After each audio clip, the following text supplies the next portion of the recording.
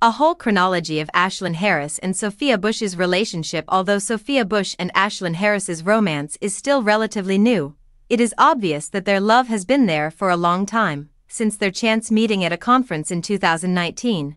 The actor and the retired soccer player have become friends.